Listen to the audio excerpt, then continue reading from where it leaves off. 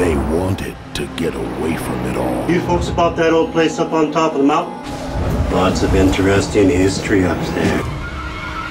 This place is nice. Wow, it's huge. Yeah, I think the only evil spirits are those in the liquor cabinet.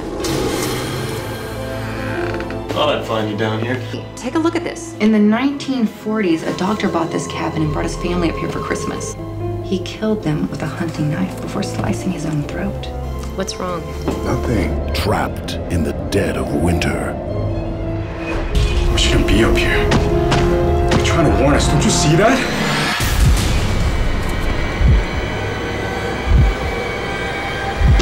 It's a cold day in hell. Blood Snow. From American World Pictures.